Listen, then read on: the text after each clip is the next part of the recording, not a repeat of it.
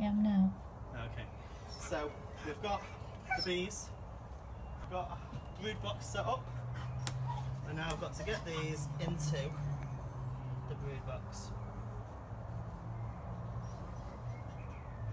Now at present they're all stuck to that, so I'm going to shake them down.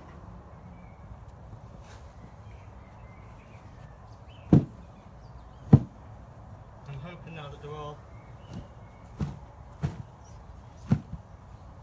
off there within reason. Okay, and now I'm literally going to tip them into here.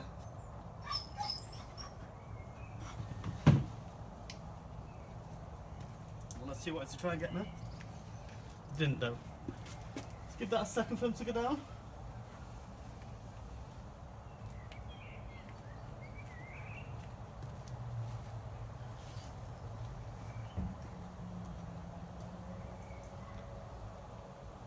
In.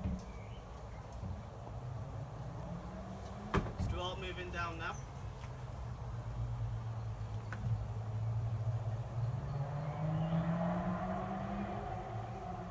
Okay. You can stop recording now. That's virtually done.